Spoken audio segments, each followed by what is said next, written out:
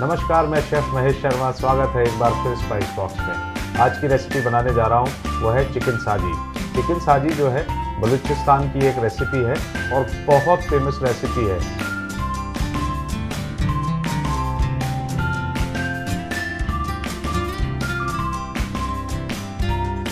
इस रेसिपी को बनाने के लिए जो मैंने इंग्रेडिएंट्स लिए हैं, साबुत धनिया, काली मिर्च, नमक, अदरक, लहसुन का पेस्ट नींबू, जीरा, गरम मसाला, प्याज चिकन व्हाइट विनेगर सौंफ बटर सबसे पहले हम लोग स्टार्ट करते हैं। इसमें आप चाहें तो पूरा होल चिकन ले सकते हैं, लेकिन मैं बना रहा हूँ एक पोर्शन का तो फुल चिकन लेने की ज़रूरत नहीं है, वरना आप इसे चाहें तो होल चिकन को मैरिनेट करके भी बना सकते हैं। इसके लिए मैंने लिए नान और ब्रेस्ट पीस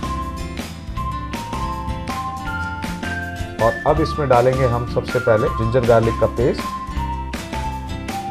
सबसे इंपॉर्टेंट इंग्रेडिएंट जो है इसका, वो है विनेगर वाइट विनेगर और डालेंगे इसमें सॉफ्ट बटर बिल्कुल अलग रेसिपी है और रेसिपी से थोड़ा सा डालेंगे नमक थोड़ा सा गरम मसाला। साथ में डालेंगे सौंफ। थोड़ी सी डालेंगे काली मिर्च। थोड़ा डालेंगे क्यूमिन और डालेंगे धनिया जो है इसे आपको पीस के डालना है।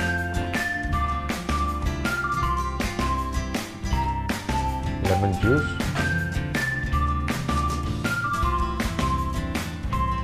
अब ये जो मैरिनेशन है, इसे करीब चार से पाँच घंटे आपको रखना है। तैयार है मेरा मैरिनेटेड चिकन और मैं तैयार हूँ इसे पकाने के लिए। सबसे पहले लेंगे थोड़ा सा सॉफ्ट बटर डालेंगे इसमें प्याज। जो अनियंस हैं, वो लाइट ब्राउन करने हैं, क्योंकि अब इसमें चिकन के बाद में भी, इसके साथ में भी इसको पकना है। और ये जो मैरिनेटेड चिकन है, वो मैं विद मैरिनेशन में डाल रहा हूँ। और आप चाहें तो इसे अवन में भी पका सकते हैं। ये सारे मैरिनेशन के साथ में ये जो चिकन है, इसकी जो ग्रेवी है, वो बिल्कुल नहीं रहेगी।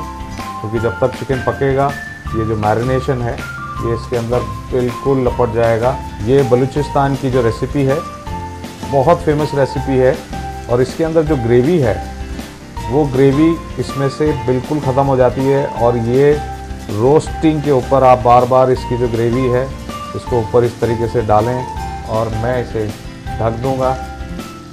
करीब 20 मिनट के लिए इसमें कलर आ जाएगा और कलर आने के बाद में हम इसे सर्व कर सकते हैं। ये जो मसाला है, देखिए ग्रिलिंग के टाइम पे, मैंने बताया था पहले भी कि इस मसाले को इसके साथ में अच्छा लपेटना है और जो मसाला है, वो इसके ऊपर लगाना है। मेरा ग्रिल चिकन जो है, तैयार हो गया है। जो मैरिनेशन है, वो बहुत बढ़िया खुशबू दे रहा है। देखें, कितना बढ़िया ग्रिलिंग कलर आया है चिकन के अंदर। सारे मैरिनेशन, सारे स्पाइसेस कोरिएंडर फैनल काली मिर्च, हर चीज़ उसके ऊपर बहुत अच्छे से दिख रही है। और ये जो मसाला है, आप इसमें साथ में सर्व कर सकते हैं।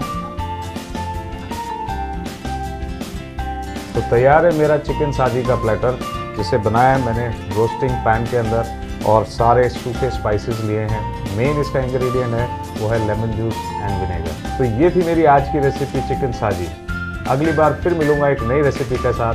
तब तक के लिए